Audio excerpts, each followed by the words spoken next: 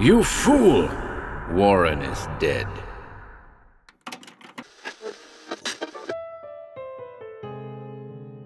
Welcome to Horror Babble. Mythos March continues today with a fabulous and new mythos story called The Lighthouse by the American author Aaron Vlek.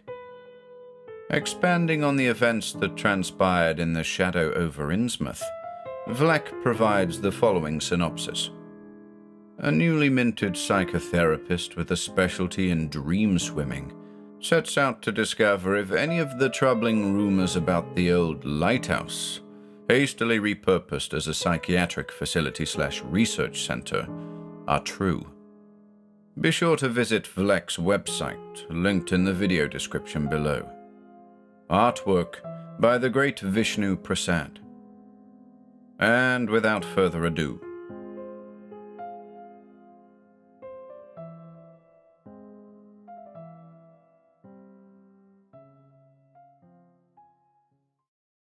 The Lighthouse by Aaron Vlek. I had completed my medical degree with an exemplary performance from a small university and then retired to my aged father's home in Arkham for some much-needed R&R. The old man rejoiced in my success and relished the many colorful exploits of a young man on his own about town that I shared with him before the roaring fire he required, on even the sultriest August evenings. I also welcomed the chance to repay the unending kindnesses he had shown me since my mother's death when I was still an infant. Despite my notable academic performances, all applications for staff positions and fellowships at the many prestigious hospitals and clinics in the New York City area went unheeded or returned with politely vague and impersonal replies in the negative. Fortunately, I did get one enthusiastic response from Miskatonic Hospital on the campus of that ancient bastion of academic acumen, and after a remarkably brief interview and cursory glance at my grades, I was signed on as a fellow in that institution's psychiatric wing. This situation suited me quite well as it allowed me to remain at home with my father, and also to pursue more advanced courses on campus gratis within my primary discipline. And so began my deeper plunge into the darkest, uncharted wastes of the troubled human mind. It also allowed me to undertake certain experimental byways of thought, theory, and practice Miskatonic is internationally renowned for. I pursued this career passionately for five years, in which I thrived intellectually, was promoted accordingly, and published numerous papers and one highly regarded volume for the advanced academic audience. I was also on hand to preside over the sad but peaceful death of my father. Other more troubling events were taking place in the neighboring town of Innsmouth, that decayed and crumbling seaport some few miles away. The highly irregular and violent fate of that town, one with a long and storied history in the darker pages of the local folklore, was chronicled extensively everywhere, from the tabloids to the New York Times, and was even the subject of a barely fictionalized novella by H.P. Lovecraft, that notable scholar of the region. I had only been to Innsmouth once in my childhood when my father travelled there unexpectedly to make a delivery a journey for which he had apologized profusely over ensuing years, inquiring oddly if I had any questions. At the time I had none, but I often recalled the peculiar demeanor and sidelong furtive glances with which he queried me on the topic.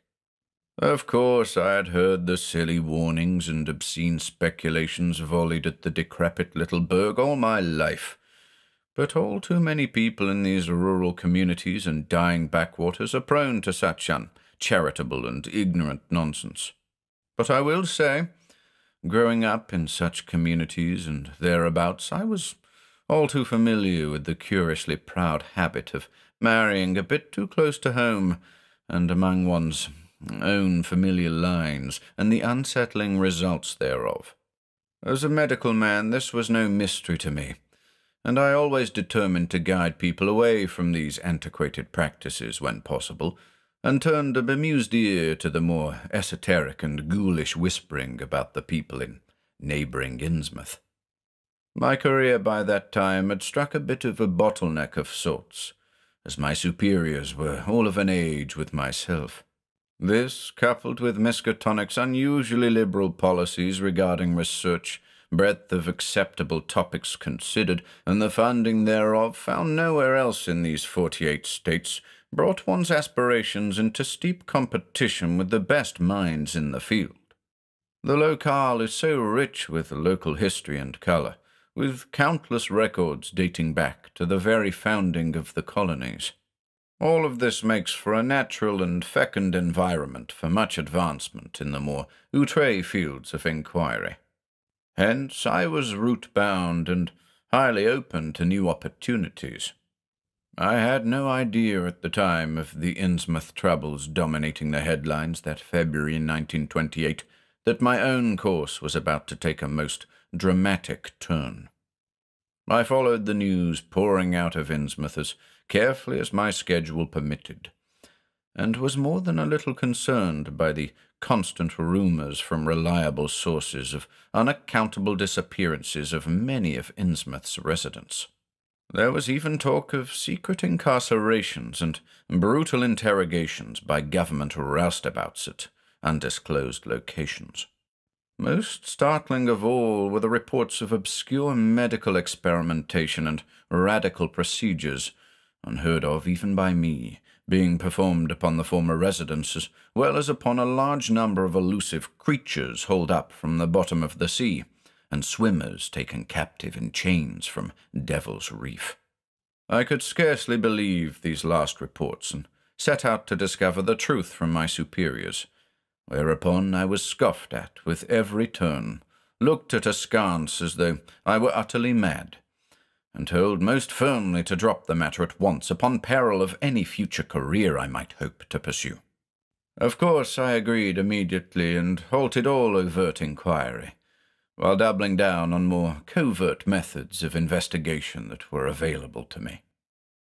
It was at that time, no coincidence certainly, that I was hastily called up for an interview at a new psychiatric hospital recently opened in Innsmouth upon the site of a derelict lighthouse.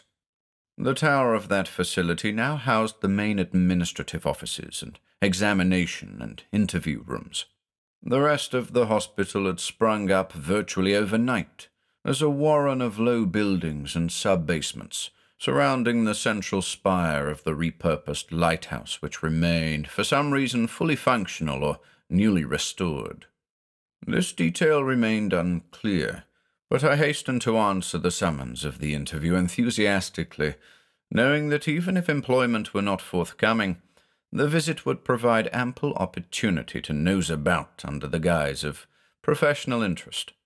Some of my own colleagues suggested that such a hastily risen facility might be the best place to seek information about the recent abductions. The drive out to the New England Research Institute for New Medicine was cold and drizzly, a heavy fog listing idly over the road and obscuring the surrounding countryside. Only the deafening sound of the sea breaking along the rocky coast assured me I was on the right track, and that my destination must lay straight ahead. When the imposing tower of the lighthouse suddenly broke through the fog, I pulled into the parking lot killed my engine, and just sat there staring at that imposing peak. No one in New England is any stranger to lighthouses, as they dot the coast frequently, a charming and welcome vision to locals and tourists alike. Not so this institute and its overflowering of attached buildings that spread over the grounds like dark-rooted vines. The whole picture portrayed a cold and inhospitable sterility that made me long for the open road and a speedy return to Arkham. Almost in a daze, but soldiering on because I knew I must, I soon found myself in the office of Dr. Randolph Bessinger, the hospital's director, listening to the usual recruitment spiel delivered much too enthusiastically for my tastes. So you see, Dr. Gilman, the Institute offers many rare opportunities for research, as well as the chance to be of service to your government in ways seldom found in, well, in peacetime. Do you have any questions for me, Dr. Gilman? Bessinger purred at the conclusion of his remarks, grinning like a Cheshire cat in his certainty that I'd been hanging on his every word, just waiting for the right moment to throw myself at his feet and beg him for a job. This kind of hubris galls me, and if for no other reason than this, Dr. Bessinger slid with a snug click into my sights. Well, just the one so far, I suppose, I began with mock hesitancy. Yes, Dr. Gilman, he added with an infuriating grin. Why did you offer me this position? I had never even heard of your facility before your letter. Well, we are quite new, he chuckled. Just opened and all. And your experience and academic pursuits, well, it seemed a perfect fit, and he explained, but I cut him off. Why me specifically? I demanded lightly, but he took notice. You had made certain inquiries, he replied, his eyes narrowing. Inquiries? I asked, feigning utter confusion. Now I have you, I thought, already planning my next moves. Yes, you seem to have a rather piqued curiosity about the research we are conducting here, and I thought perhaps you might wish a closer look and perhaps prove useful in our work, he added, regarding me closely. Tell me more, I said, leaning forward and looking at him with interest. Dr. Bessinger turned on the beam of what I would soon learn was meant to disarm and inspire camaraderie, but it did nothing of the sort and only furthered my growing sense that much was gravely amiss here. Perhaps it would be more illustrative for us to take a tour of the facility and let you meet some of our patients he said, standing and ushering me toward the door. For the next two hours we strode through a warren of halls, in and out of room after room, and I made the acquaintance of scores of pitiful patients. Bessinger proudly detailed a litany of affronts to sanity, baseless claims, and superstitious poppycock I would never have imagined could spew so casually from the mouth of an educated man, much less a medical professional with claims to the newest discoveries and techniques. The man's rant kept coming back to clearing the swamp and protecting the nation, and degenerate abominations and infested seas, and other sham excuses for the deplorable and heartbreaking conditions these so called patients endured. Former residents of Innsmouth, to the last of them, they all suffered a sickly, putrescent hue, broad, fleshy lips, and huge, unblinking eyes. I could not determine how much of these characteristics were common among Innsmouth's residents, and how much was the result of the bizarre apparatuses and unwholesome tanks of unknown fluids I spied some patients floating in, seemingly unconscious or dead. I held my tongue, not wanting to betray the disgust that filled me with rage, and the gorge that almost drove me in search of a toilet more than once. But it was the drooping, hairless heads, the listless glances, and pleading, desperate stares that bore into me from every one of them as they lay motionless on their miserable cots or sat upright strapped into rickety wheelchairs and other less obvious contraptions, or in those malignant tanks. The final visitation, the pièce de résistance, which Bessinger held in reserve and was clearly intended to seduce me unconditionally to his cause, was, of course, the old woman. The ancient and emaciated beldam was strapped securely in a rickety wooden wheelchair, her wrists and ankles bound tightly to the arms and legs of the infernal contraption. Her balding pate was covered with a few long coarse hairs, as well as a few sprouting from her thick fleshy upper lip. She leered at me suggestively, her unusually long pointed tongue slithering out to wipe her parched lips, while the unblinking, lidless eyes communicated to me a lengthy and very different story.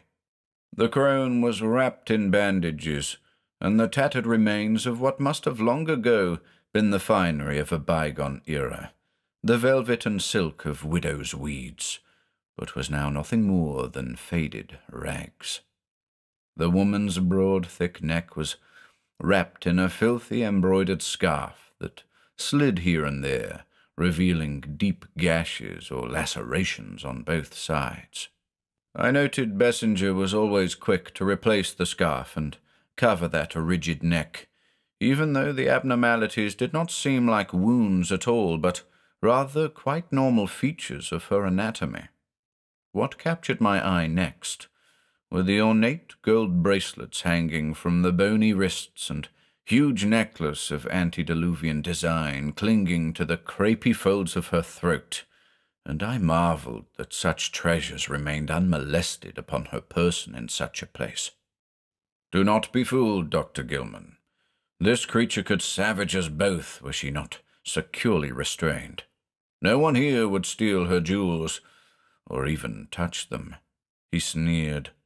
The most hideous trinket in her collection is a tall sort of spiked crown the wretch would insist upon wearing, were it not locked securely in my safe. For God's sake, I roared, can't you at least give the poor creature some fresh clothing? Creature is right, Dr. Gilman. And we have tried, oh, have we tried? He snorted with derision. Every attempt was met with screeching and the ripping and rending of flesh by claws any jungle cat would be proud of, Bessinger explained as I looked on in horror. Dr. Gilman, May I present to you Miss Majestic Marsh? By all accounts, and from what few records we have available, this woman is the eldest sister of Innsmouth's notorious ancient mariner, Obed Marsh, a man himself of uncanny longevity, and predated by this creature of absolutely impossible age, leading us to conclude, naturally and in accordance with the obvious, that Majestic Marsh has very little in common with what is left of the decent human population in these parts, which was precisely why the government moved as it did upon the infestation at Innsmouth, and why you were called, Dr. Gilman, to help us learn as much as we can before we eradicate these abominations and ensure no further foothold gains any place upon our human soil. Bessinger concluded like a politician, stamping for votes.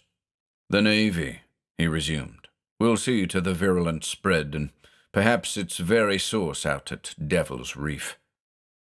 I looked again on the broken but proud and haughty form of majestic Marsh, for whom the name must have truly been a thing of terrible awe in its time, however far back into the early days of this nation that must have been. I betrayed nothing in my demeanour, but I could barely keep my wits about me as the penetrating silent scream from that wizened alien mind rang through my mind like a sledgehammer, and those pleading eyes reached into some long hidden place within my soul. I knew that everything my modern scientific mind and my medical hubris had denied was true.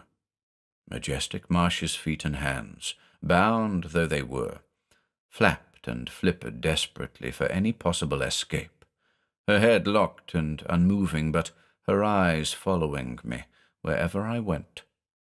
I shall bring everything within my power to bear upon these matters, Dr. Bessinger, I assured him.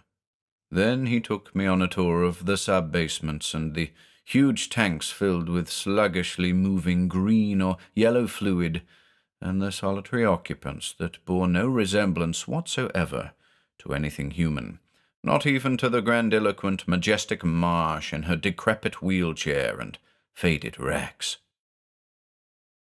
The drive home to Arkham was a frenzied mania of warning images and the steaming remains of long held truths as they devolved into unordered madness into the very realms of chaos. The field of psychiatry is deeply committed to the treatment of traumatic shock, which at times can be so violent as to snap the human mind like a twig and cause permanent damage, including catatonic states and paralysis from which the patient may never recover. Some war veterans present these states and symptoms, as do those who witness acts so heinous the victim has no other recourse than to flee for safety so deeply within themselves that it constitutes what a colleague of mine has termed living suicide. The body is discarded, left behind to live or die as it will, with no care from that dynamic and quickening principle, that elusive animating spark we call consciousness.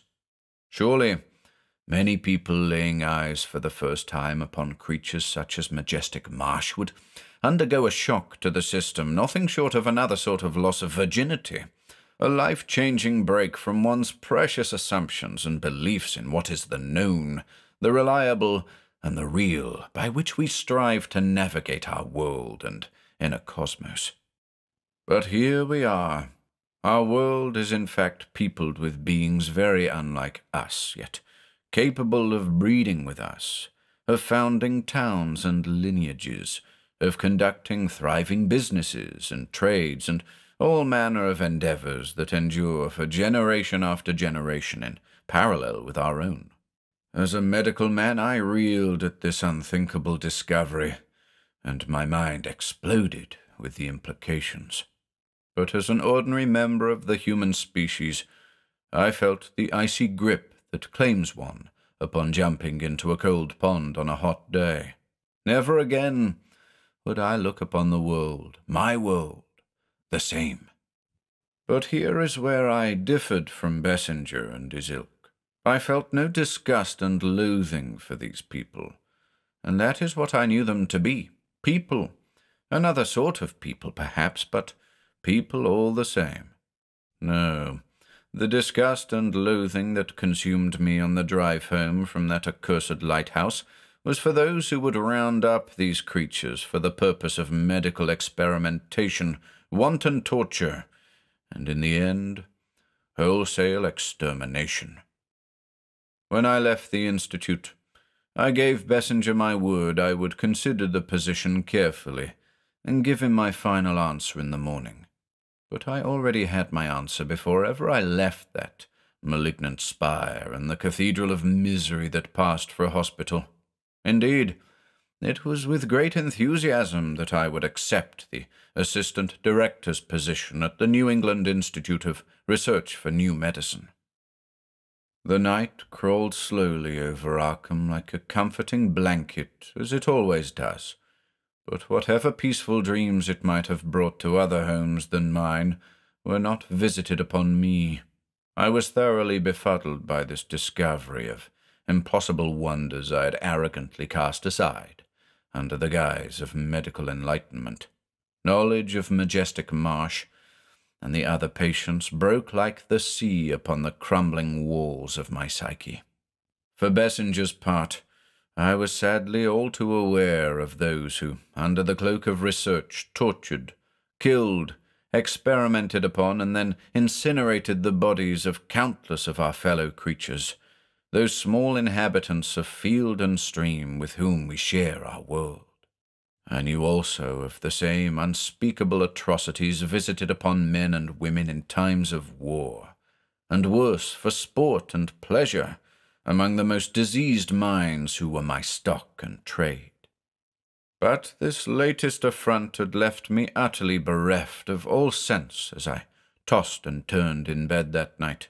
How naive I had been to dismiss so many off-handed comments like, he's got the Innsmouth look, or she has the marsh eyes, or even, he never used to look like that, so we always took him for one of our own, and now that he's an old codger, he looks just like them, he does, and he's taken to swimming by moonlight, too. Don't suppose we'll see old Jeb around here much longer. At some point in the earliest hours of the morning, I shot upright in my bed, the fading tendrils of dream flowing quickly away like rivulets back to some dark, abysmal sea. All that remained was the shrieking scream of majestic marsh filling my head.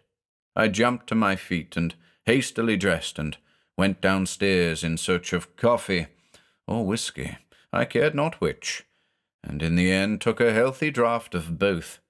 I could not wait a moment longer to begin my duties and execute my plans for that vile lighthouse hospital. But this was absurd. I had first to secure the position I hoped was mine for the taking.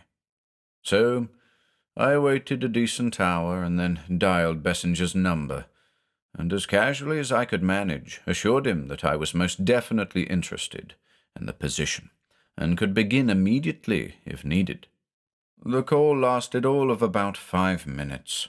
I was left then to settle my affairs at Miskatonic, securing a leave of absence from my position there to pursue a vaguely outlined sabbatical which, even at such short notice, got little more than a curious glance and a cursory good luck. The same described my withdrawal from classes on campus, with the intention to return at the beginning of next semester. The remainder of the day was spent cloistered with my research colleagues. Dr. Gloria Gilman, no relation as far as we knew. Dr. Felix Marsh, a common enough name in these parts, Dr. Langston Whately, and Dr. Cassabel Carter. These last two were partners with a practice and small clinic on campus. Our final colleague was the darkly mercurial but remarkably proficient Dr. Meribeth Pickman.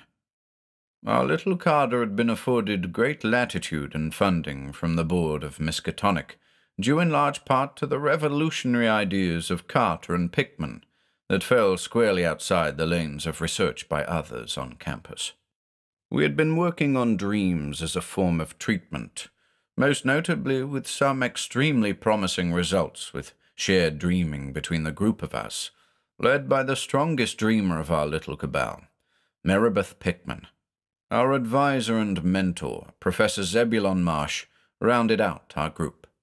Although not participating in the actual dreaming, when we outlined to him my discoveries at the Institute and descriptions of patients housed there, he signed off immediately and without question on all we were planning to undertake, requesting to be kept apprised of every development and vowing to aid us personally should any need arise. Our group had fallen together tightly during our first semester, and we quickly set out to explore the regions of shared dreaming as each of us developed and perfected his or her own unique skills that enabled us to safely explore the nocturnal lands and aid our patients. We dream swimmers, as we called ourselves, took to the lands of dream like otters to a roaring brook. I was the opener of the way, ensuring that we all entered the dream states quickly upon retiring for the night at home or in the lab when we chose more controlled experimentation. Felix and Langston ensured that we suffered no intruders of any sort during our proceedings, as this was always a very great danger. Gloria guided our movements with the skill of the master navigators of old, and Carter ushered us all safely back to port at the end of our journeys ensuring we never tarried so long in the lands of dream that we might get lost, or become so enchanted with the many pleasures of deep dreaming that we refused, any of us, to return to the waking lands. This, of course, left the tasks incumbent upon Meribeth Pickman, without a doubt the strongest dream swimmer of us all. Once we had entered those states far beyond the planes of normal human dreaming, before any dream had materialized before us, we were each caught in the cataclysmic strata of cosmic winds that surround the world of the mind as a protective. These can blow whole worlds apart and turn minds and psyches into dust to be swept away into the lost folds of space forever. These borderlands are meant to be safeguards, keeping casual dreamers out of deeper and faster running currents. But they can be quite dangerous should one attempt unprepared to penetrate those barren, screaming wastes. It was Meribeth Pickman who stood strong as a beam, a lightning rod, the bellwether that drew each of us out of that maelstrom and brought us all to stand safely on firm ground within the dream state to which we were to turn our attentions. Our achievements had been painfully slow and fraught with missteps, but we had finally begun to work together as a cohesive and highly effective unit. As a medical team in a surgery would set upon the injuries, diseases, and subtle maladies of the physical body, so we dream swimmers would enter the minds of the most troubled and violent patients and bring them peace in most cases, and even recovery in some of the most recalcitrant chronic cases. And as we were not brutally slicing into tender flesh nor removing delicate portions of the brain critical to thought and normal human functions, we adhered first and foremost to our fundamental oath. We did no harm to any of our troubled patients. It was to these friends and colleagues that I relayed my discoveries at the Institute, and enlisted their enthusiastic support. I had then only to begin my new job, to set sail in the subterranean holds and take stock of every soul in the place, employees, patients, and those poor creatures held captive in foul, grotto-like tanks far beneath the main hospital. I knew, of course, that it was Majestic Marsh who would be our true guide in this. That much the aged crone herself had made abundantly clear when she nearly shattered my mind with her silent siren's call. But it was a secret, hidden, and wholly unfamiliar place within my mind that understood and answered that call in kind. The low, guttural warbling and meaningless chittering she had assailed my mind with in the beginning had emerged into words I fully understood. This, too, I conveyed to my fellow dream swimmers, who glanced at one another furtively, while assuring me they understood and were with me to the end on whatever path these discoveries carried us. Maribeth said she had begun receiving nocturnal cries of distress from beyond Devil's Reef when she dreamed alone, and the others nodded they too had experienced the same. Gloria Gilman described whimpering voices in the night, pleading for help or death deep within the eddies of her pre-dawn slumber. But when she tried to answer, she always awoke with a start, the sensation of icy fingers withdrawing quickly from her mind. Clearly, we had our work cut out for us, and equally clear it was that we were well cut out for the work. It was the job itself that I had to undertake alone.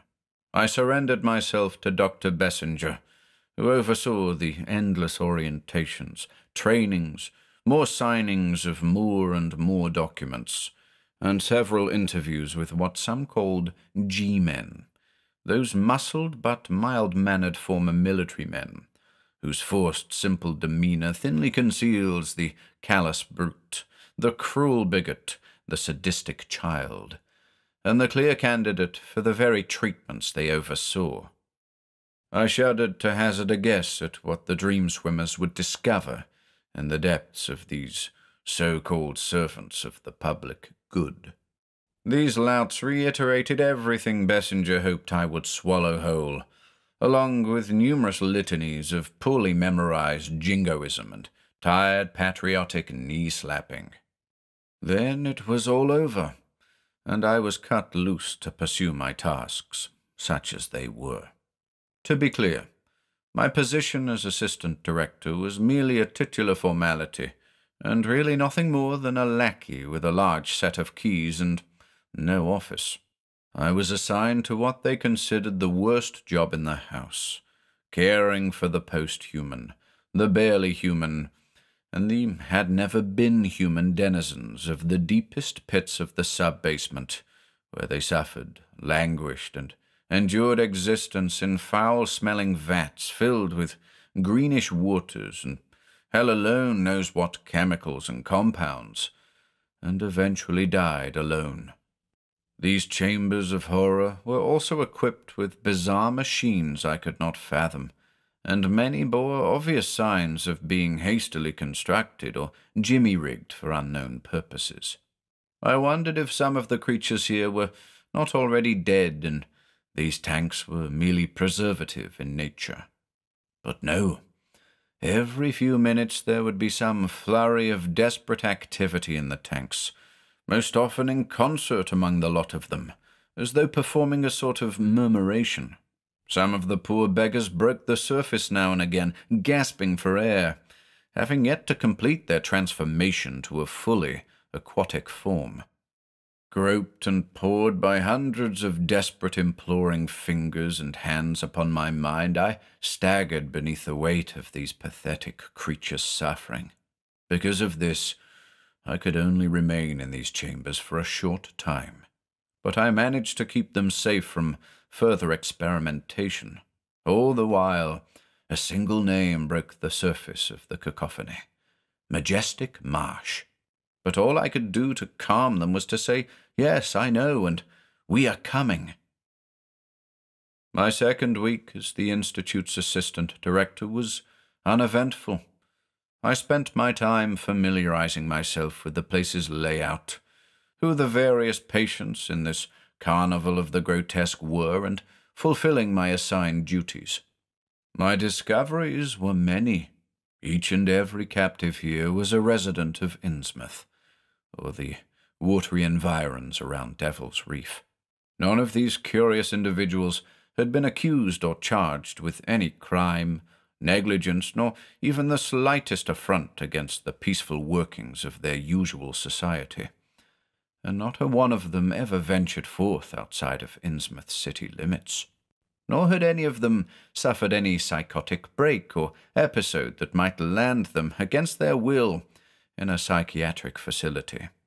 This only underscored the putrescent rantings of Bessinger in his recruitment spiel and subsequent attempt at indoctrination. These people were here because they were different, and differences cannot be tolerated by stalwart patriots. And so, like the old saying, Thou shalt not suffer a witch to live.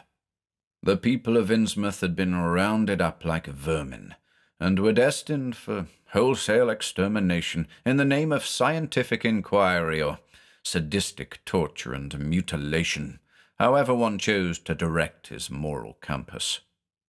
I also realized that most of the employees here, besides the government men, were Gilmans, Marshes, Whateleys, Carters, and Pickmans. I even discovered a few far-flung relations of my own. This bit of news I shared with my colleagues, who found it highly suspicious and demanding of greater scrutiny as speculation and theory ran wild among us.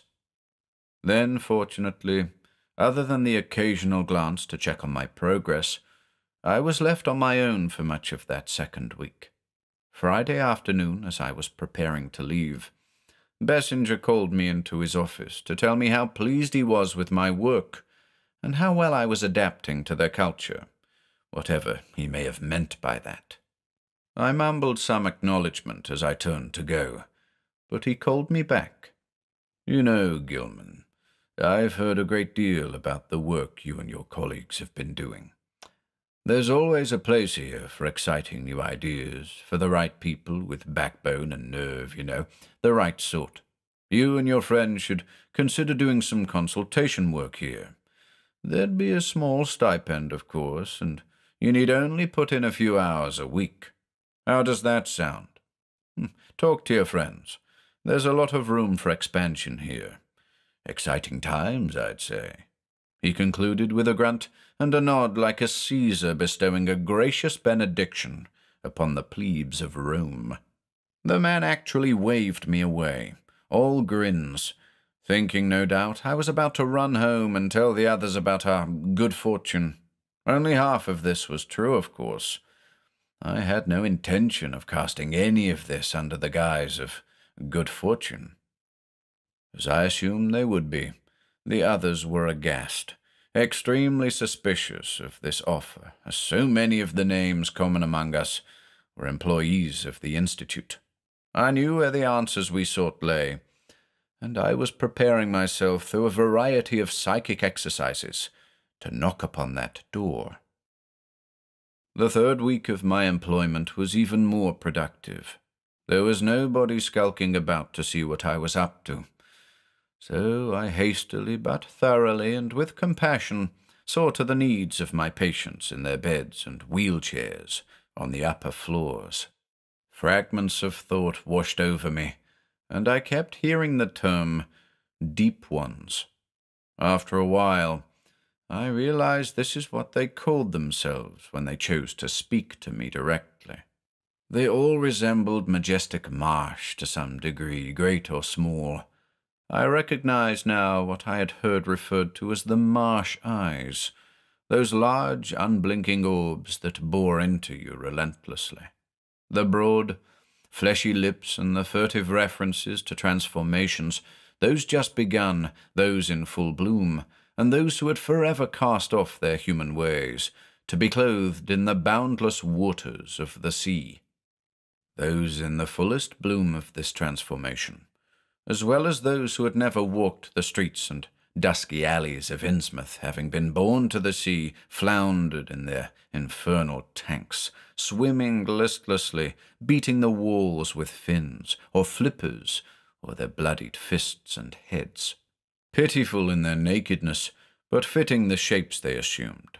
Frogmen, mermaids, fish, all of these and none were equally true. Their distraught pleading as they came up to the glass walls of the tanks to implore me to free them, or barring that to end their tortuous existences. Be patient was all I could manage, and they seemed to understand, but just floated away to languish at the bottoms of their tanks. The soulless, pitiful weeping about drove me mad, and it was all I could do to maintain my course. Throughout the next week, every time I crossed paths with Bessinger, he queried me about when Sam or all of my colleagues would visit the Institute and start putting in consult towers. At no point had I given him the slightest indication any of them were interested. He even began casually asking me about dream therapy, and if I ever contacted any of our patients here in dreams, or been contacted by them. I assured him that I had not, and never would, that such practices and research my colleagues and I were engaged in was absolutely separate from my employment at the Institute. Bessinger was visibly angered by this and started to say something, but then held his tongue and dropped the matter with a shrug. Over the next few days, Bessinger brought up several times what a pity it was that my friends were too busy to even come to the Institute and see the work we were doing. I found this most irregular, but refused to take up the matter. Then out of the blue, the man actually suggested that he come to Miskatonic to meet with us. I was dumbfounded and enraged, but I managed to hide it. Bessinger was up to something, and it was becoming abundantly clear that I had been hired for no other purpose than to gain access to the work the dream swimmers were doing, and that it was a key to some larger agenda. The proceedings of the Institute were monstrous enough, but why was he still so insistent in our joining the staff here, when I had rebuffed his advances firmly at every turn? Little did I know that the next three days would reveal all. For my part, my daily rounds were nothing less than a leisurely stroll through the various circles of hell. I had been promoted to oversee the most advanced and recalcitrant patients and their treatment. Attendants, who were nothing more than cruel thugs, would peel away the tender, hairless flesh of the patient's batrachian pates, revealing their very brains. This was accomplished quickly and without care or skill, and I blanched at the sight. I attempted to demonstrate more humane methods, but the louts actually rebuked my efforts. To the heads of these poor fellows they attached electrodes and affixed intravenous lines, and finally cut away various samples of the brain itself. And all this upon living beings. There was nothing I could do for them on my own. And sadly, time and circumstances were not yet right to mount our ultimate campaign on their behalf. That night proved most instructive. The dream swimmers met at my home because it was safer and more private than our laboratory at Miskatonic. We followed our usual complex ritual of procedures, and then we dreamed of the Institute. I opened and cleared the way. Maribeth gathered us from the shrieking and tumultuous astral winds. Then we roamed those darkened corridors, wards, and subterranean cells beneath the lighthouse. These last were worthy of any Inquisition galley, fitted out with the furnishings of torture. Langston and Felix held the waking world at bay, but I could feel the disgust and sadness from my friends as Gloria and I finally led them through these last cells. The final chamber served as the morgue, where several batrachian bodies lay in ruined heaps under filthy blood and chemical stained sheets. Some of them, their lifeless bodies still strapped into hideous contraptions, still bore the silent screams of unendurable agony on their dead faces. Finally, Maribeth Pickman called us to the wall on one side of that last cell. There's something here, she said excitedly, her fingers working deftly over the surface of the wall. Follow me, she said, and then without another word her subtle dream body passed through the wall and disappeared. We followed her and made a startling discovery. Beyond the wall was a broad-stepped tunnel that plunged downward at a steep angle through the body of the earth. We followed Maribeth as she glided down the tunnel. After some minutes, we heard the sound of waves crashing on the rock.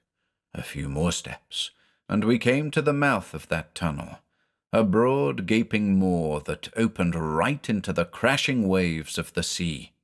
I heard then the vibrating bell-like voice of majestic marsh in my mind, and in but a moment I knew all, not in words, but in pure understanding and memory. This lighthouse had been built by the people of Innsmouth to warn their brethren of the sea when it was not safe to come ashore. This tunnel was the means by which the sea folk came and went between the town and the waters of Devil's Reef. This realization was followed by the sounds of enraged battle as Maribeth engaged in a silent test of wills with an intruder.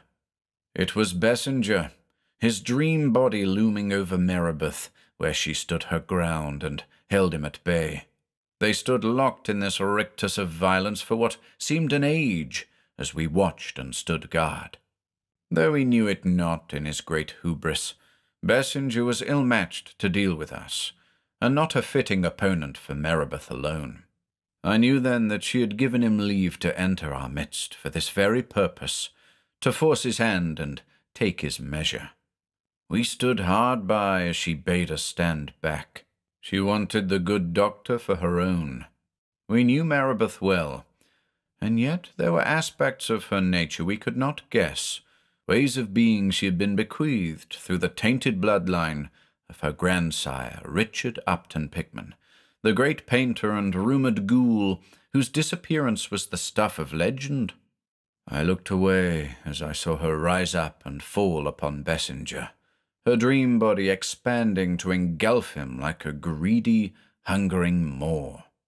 After several minutes of desperate struggling and flailing about, Bessinger's body was dropped to the ground, mangled, headless, and dead.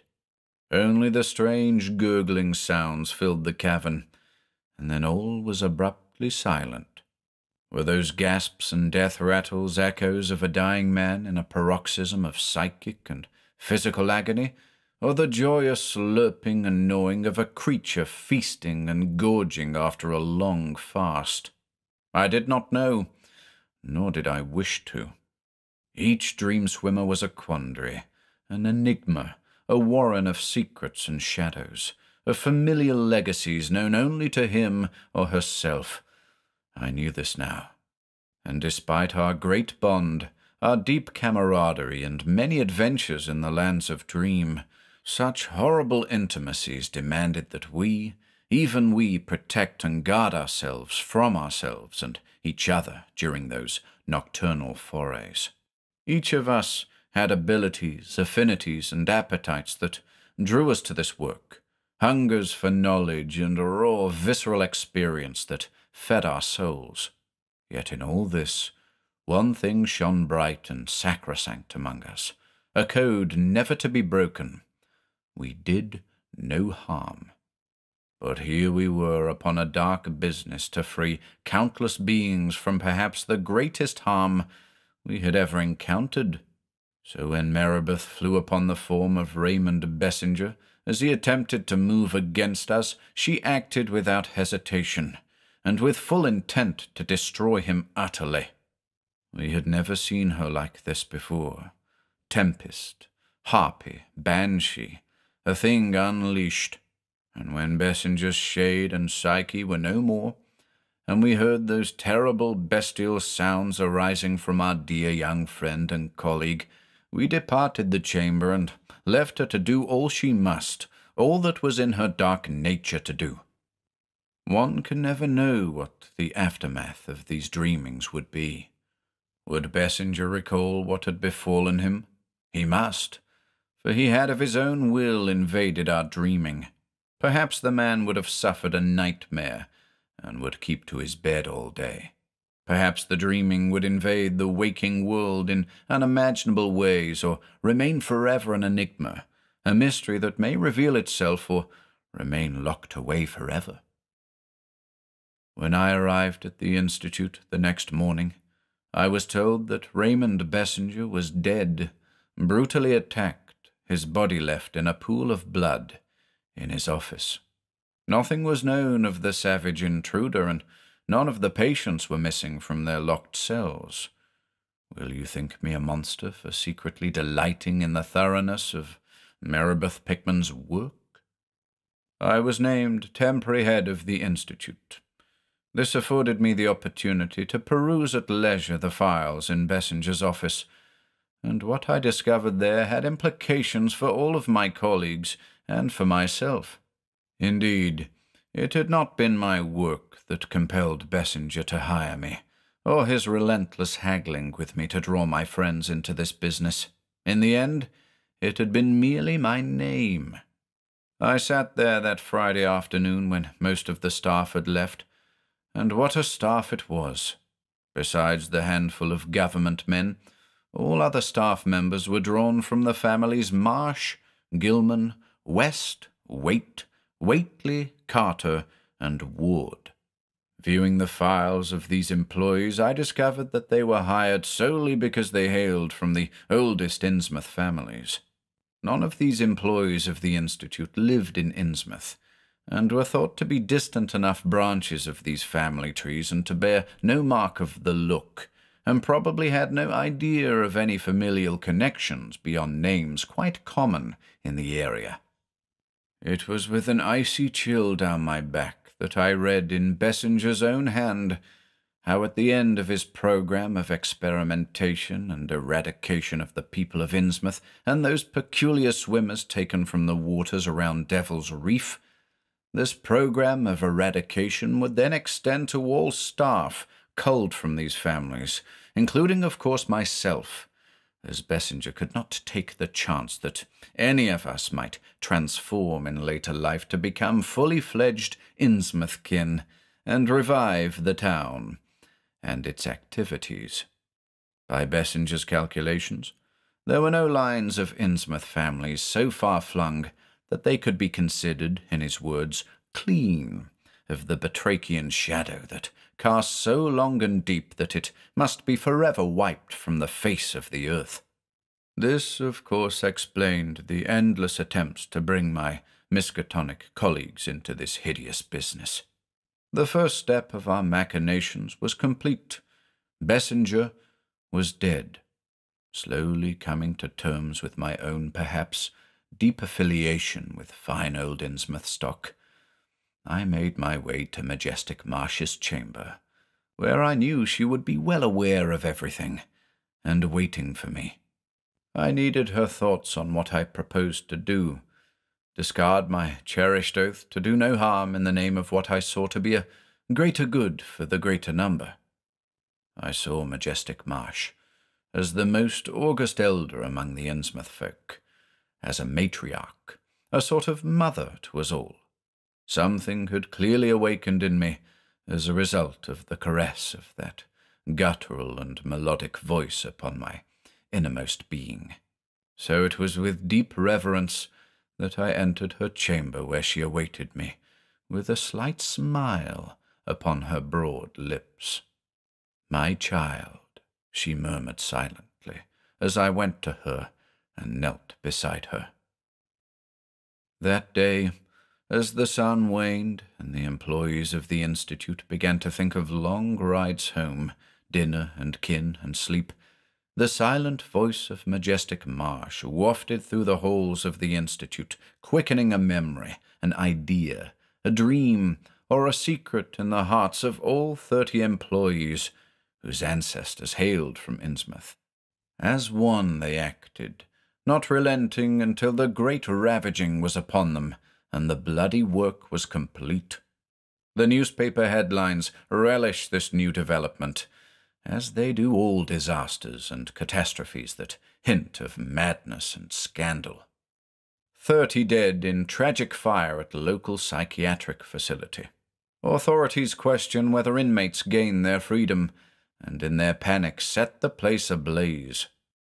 The dead, of course, were the government men and the brutish louts. Remaining staff must have left safely for the day before the trouble began. Such were the many headlines. Oddly, no trace or any remains of the patients were found in the smouldering ruins, though the shell of the lighthouse still stands. An open door leading into the sea at the bottom of a deep subterranean tunnel may yield answers. One room remained locked and undamaged by the flames, where a solitary old woman sat strapped in an ancient rattletrap wheelchair.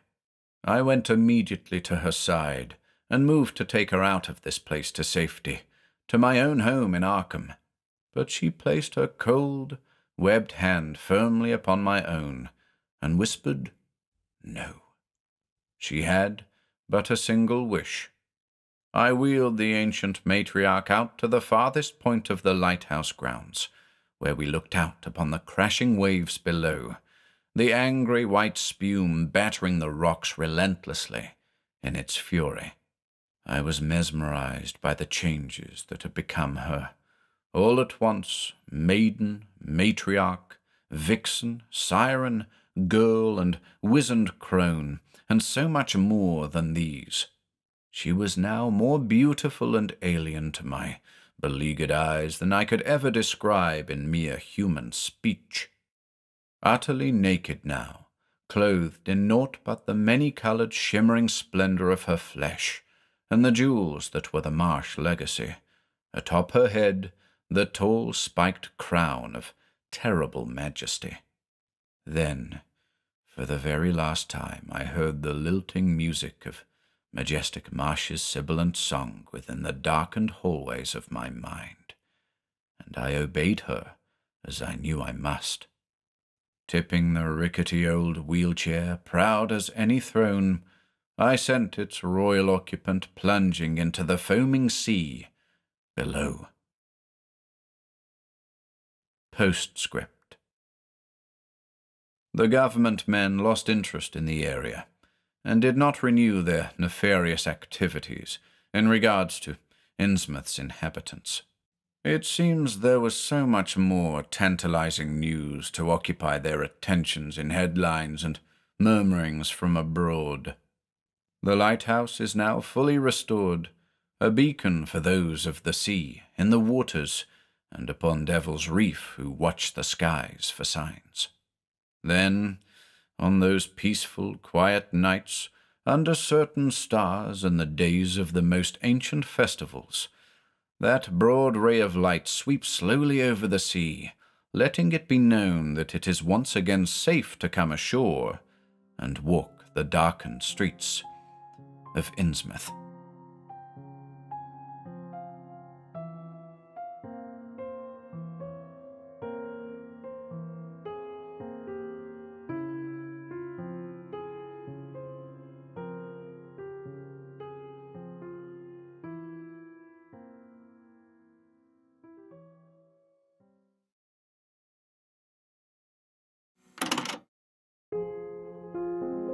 If you enjoyed listening today, be sure to subscribe to the channel by hitting the red subscribe button below. After doing so, click the bell icon next to the subscribe button to receive new content notifications. If you'd like to support our work and receive exclusive perks, consider becoming a channel member by clicking the join button below. To support us in other ways, see the video description for links to our Bandcamp and Patreon pages our merch store over at Teespring, and further information relating to our releases on Audible, iTunes, and Spotify. And until next time.